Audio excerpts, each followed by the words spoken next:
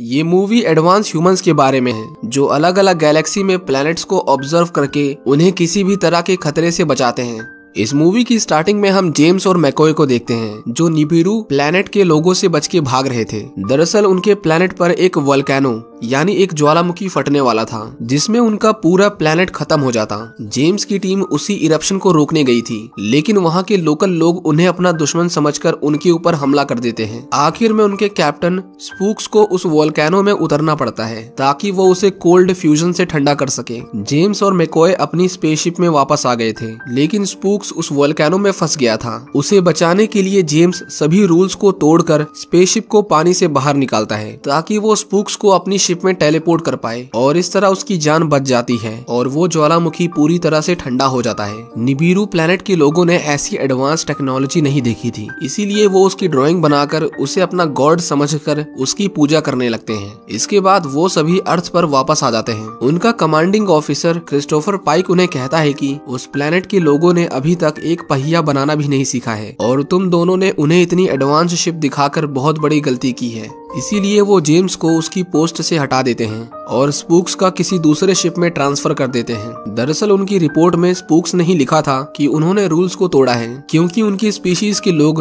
कभी झूठ नहीं बोला करते थे। जेम्स उसके ऊपर गुस्सा करता है, लेकिन ये ऑर्डर्स ऊपर से आए थे, इसीलिए वो कुछ नहीं कर पाते। इसके बाद हम एक आदमी को देखते हैं, जिसकी बेटी कैंसर से मर रही थी। उसके पास एक आदमी आता है, वो कहता है कि मैं तुम्हारी बेटी को बचा सकता हूँ, लेकिन तुम्हें मेरा एक काम करना होगा। वो उसे अपना खून देता है, जिसे वो अपनी बेटी की बॉडी में इंजेक्ट कर देता है और वो देखता है कि वो ठीक होने लगी है। इसके बाद वो स्टार फ्लीट के हेडक्वार्टर में जाता है और अपने वादे के अकॉर्डिंग वहाँ पर एक बहुत बड़ा एक्सप्लोजन कर देता है, जिसमें उसके साथ साथ बहुत सारे लोग मारे जाते हैं। इसके बाद एक इमरजेंसी मीटिंग बिठाई जाती है और उन्हें पता लगता है कि ये सब हैरिसन नाम के एक आदमी ने किया है। वो कौन था, उसने ऐसा क्यों किया, उन्हें कुछ पता नहीं था। लेकिन तभी उनके ऊपर हमला होता है। जेम्स देखता है कि हैरिसन ही उनके ऊपर हमला कर रहा था। वो उसके फाइटर प्लेन को खराब कर देता है, पर हैरिसन वहाँ से टेलीपोर्ट होकर भाग जाता है। इस हमले में क्रिस्टोफर की मौत हो जाती है। जेम्स उन्हें देखते ही रोने लगता है, क्योंकि एक वही थे जो हमेशा उसके साथ खड़े रहते थे। उन्हें पता चलता है कि हैरिसन क्रोनोस प्लेनेट पर टेलीपोर्ट हो गया है और वहाँ पर जाना उनके लिए इम्पॉसिबल था, क्योंकि उस प्लेनेट से उनकी दुश्मनी थी और वहाँ जाकर उस पर हमला करने से वो जंग शुरू कर देते। जेम्स कहता है कि इसकी ज़िम्मेदारी मेरी है, हम उनसे बात करके उसे वापस अर्थ पर ले आएँगे। इसके बाद मार्कस उसे उसकी पोस्ट वापस कर देता है और उन्हें एक नए वेपन का एक्सेस देता है, जो बहुत ही ज़्यादा खतरनाक था और उसे अभी तक इस्तेमाल नहीं किया गया था। लेकिन स्पूक्स उसे कहता है कि रूल्स के अकॉर्डिंग हम किसी को भी बिना कोर्ट में पेश किए नहीं मार सकते। पर जेम्स उसे कहता है कि उसने जो किया, उसके सामने तो ये कुछ भी नहीं है। वो क्रोनोस पर जाने की तैयारी कर रहे थे,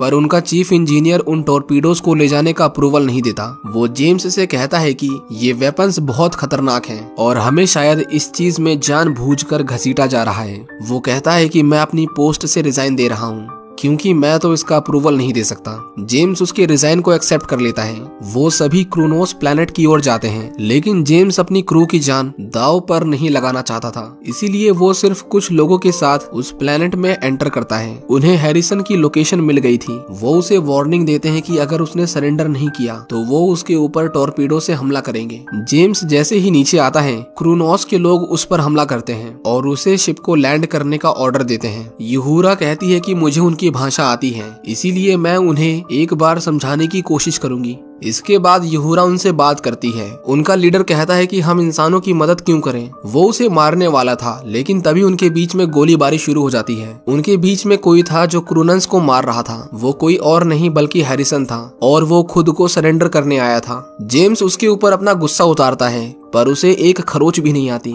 वो अपने स्पेसशिप में वापस जाते हैं, पर उसमें कोई खराबी के चलते वो स्टार्ट नहीं हो पाता। हैरिसन उन्हें कहता है कि वो एक बड़ी मुसीबत में है, और अगर उन्होंने उसकी बात नहीं सुनी तो उसका पूरा क्रू मारा जाएगा। वो उन्हें कहता है कि तुम्हें उस टोरपीडो को खोलना होगा। हैरिसन उसे एक लोकेशन देता है और वहाँ पर जाने को कहता है। जेम्स उसकी बातों पर विश्वास नहीं करना चाहता था, लेकिन उसकी बातों में थोड़ी सच्चाई थी। इसीलिए वो स्कॉट को उस लोकेशन पर जाने को कहता है, और वो उस टोरपीडो को खोलने के लिए नीचे ले जाते हैं। उसे खोलते वक्त वो एक्टिवेट हो जाता है और मैकोए का हाथ उसमें फंस गया था। इससे पहले वो टोरपीडो फट जाता, कैरल उसे बंद कर देती है और उसे खोलने पर उन्हें एक आदमी की बॉडी मिलती है, जो 300 साल पुरानी थी और उसे फ्रीज करके रखा गया था। हैरिसन उन्हें कहता है की हर एक टोरपीडो में उसका एक आदमी है। और उसका नाम हैरिसन नहीं, बल्कि खान है। वो सभी जेनेटिकली मॉडिफाइड ह्यूमंस हैं। इंसानों ने हमें बनाया था, लेकिन उन्होंने ही हमें देशद्रोही घोषित करके हमें क्रायो चेम्बर्स में सुला दिया। एक साल पहले मार्कस ने मुझे दोबारा जगाकर मुझसे खतरनाक हथियार बनवाए, और उसने तुम्हें यहाँ मुझे पकड़ने नहीं, बल्कि उन टोरपीडोज को टेस्ट करने के लिए भेजा है जो मैंने बनाए हैं। तभी उनके सामने एक शिप आता है। उसके अंदर मार्कस था। मार्कस उसे खान को उसके हवाले करने को कहता है। जेम्स उसे कहता है कि हम खान को अर्थ पर ले जा रहे हैं और वहीं पर उसे उसकी सजा मिलेगी। वो अर्थ की ओर अपनी शिप को ले जा रहे थे, पर मार्कस उनका पीछा करता है और उनके ऊपर हमला करता है, और उसके कई लोग स्पेस में मारे जाते हैं। कैरल मार्कस की बेटी थी, वो उसे ये सब रोकने को कहती है, लेकिन मार्कस उसे अपने शिप में टेलीपोर्ट कर लेता है। जेम्स उसे कहता है कि अगर तुम्हें खान चाहिए तो हम उसे छोड़ देंगे, पर वो उसके क्रू को कुछ ना करे। लेकिन मार्कस उसे कहता है कि मैंने तुम लोगों को यहाँ पर मरने के लिए ही भेजा था। वो उन्हें खत्म करने वाला था, पर तभी उनकी स्पेसशिप काम करना बंद कर देती है, क्योंकि उसके अंदर स्कॉट था। खान ने जो लोकेशन बताई थी, वो मार्कस के स्पेसशिप की थी। अब उन्हें सोचने के लिए थोड़ा और टाइम मिल गया था। जेम्स डिसाइड करता है कि वो खान के साथ मार्कस के शिप में जाएगा। स्पूक्स उसे खान को ले जाने से मना करता है, क्योंकि उसके ऊपर भरोसा नहीं किया जा सकता था। पर जेम्स के पास और कोई ऑप्शन नहीं था। वो खान को अपने साथ चलने को कहता है, और बदले में वो उसके क्रू मेंबर्स को आज़ाद कर देगा। खान स्कॉट को स्पेसशिप के डोर ओपन करने को कहता है, और वो दोनों अपनी स्पेसशिप से जंप लगा देते हैं। स्कॉट उस गेट को खोलने ही वाला था कि तभी मार्कस के आदमी उसे पकड़ लेते हैं, लेकिन वो दोनों गेट के बहुत पास थे। अगर वो गेट नहीं खोलता तो वो बाहर ही जमकर मर जाते स्कॉट गेट को खोल देता है और वो सोल्जर वैक्यूम की वजह से बाहर फेंक उठता है। वो दोनों अब अंदर आ चुके थे। उनके पास फ्यूचर को भी देखने की टेक्नोलॉजी थी। स्पूक्स अपने ही ओल्ड वर्जन से बात करता है और उससे पूछता है कि खान कैसा आदमी है और वो उसे कहता है कि खान पर भरोसा नहीं किया जा सकता, क्योंकि अगर उसे ज़रूरत पड़ी तो वो किसी को भी मार सकता है। खान उनके कंट्रोल रूम में पहुँचता है, पर जेम्स उसे शूट करके बेहोश कर देता है। वो मार्कस को सरेंडर करने को कहता है। लेकिन वो कहता है कि जिस प्लेनेट के लोगों को तुमने अभी मारा है, वो जल्दी ही इंसानों पर हमला करेंगे। और अगर मैं अरेस्ट हो गया तो तुम लोगों को कौन लीड करेगा? इसी बीच खान जेम्स को मार मार कर अधमरा कर देता है और वो मार्कस के सिर को अपने हाथों से दबाकर फोड़ देता है। खान कहता है कि वो उसके सभी क्रू को उसकी शिप में ट्रांसफ़र कर दे, नहीं तो वो उनके शिप को डिस्ट्रॉय कर देगा। स्पूक्स को लगा कि वो ऐसा नहीं करेगा, नहीं तो उसके लोग भी मारे जाएँगे। जिस पर खान उसे कहता है कि उसके लोग बिना ऑक्सीजन के भी ज़िंदा रह सकते हैं। इसीलिए मैं तुम्हारे ऑक्सीजन टैंक को डिस्ट्रॉय कर दूँगा। और जब तुम्हारे लोग दम घुटने से मर जाएँगे तो वो अपने लोगों को वहाँ से निकाल लेगा। उसे लगा कि यहाँ तो हर तरफ़ से वो मारे जाएँगे, और इसीलिए उसे खान की शर्त को मानना पड़ता है। वो सभी क्रू मेंबर्स को खान की शिप में टेलीपोर्ट कर देता है। बदले में खान भी उन्हें जेम्स को वापस कर देता है।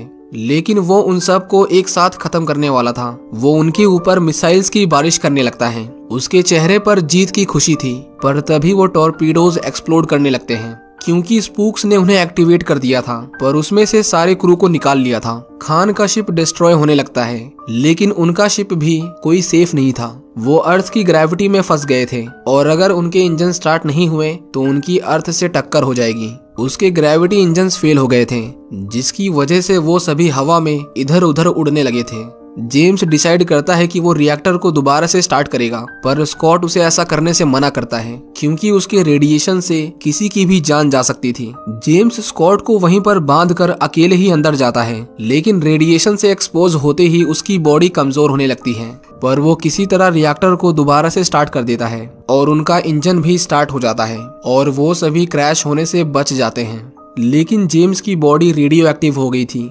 स्पूक्स उसे अंदर लाना चाहता था, पर स्कॉट कहता है कि अगर उसने गेट को खोल दिया तो रेडिएशन उनके पूरे शिप में फैल जाएगी। इसीलिए हमें ना चाहकर भी इंतज़ार करना पड़ेगा। और इस तरह स्पूक्स अपने ही दोस्त को अपनी आँखों के सामने मरते हुए देखता है। उसे पहली बार इतना गुस्सा आया था, और वो खान को मारना चाहता था। खान का शिप क्रैश कर रहा था, पर वो जान उसे शहर के बीचों बीच लैंड करता है, ताकि ज़्यादा से ज़्यादा लोग मारे जाएँ। स्पूक्स उसे मारने के लिए उसका पीछा करता है। दूसरी तरफ़ मैकोए देखता है कि खान के ब्लड में किसी भी मरे हुए को ज़िंदा करने की पावर थी। वो कहता है कि हमें खान को ज़िंदा पकड़ना होगा, लेकिन स्पूक्स और खान के बीच में फाइट हो रही थी, और स्पूक्स बस उसे किसी भी हालत में जान से मारना चाहता था। उससे कांटेक्ट करने का कोई तरीका नहीं था। खान उससे बहुत पावरफुल था और उसे मारने वाला था। लेकिन तभी यहूरा वहाँ पर टेलीपोर्ट होती है। स्पूक्स उसे बुरी तरह पीटने लगता है। यहूरा उसे कहती है कि हम उसके ब्लड से जेम्स की जान बचा सकते हैं।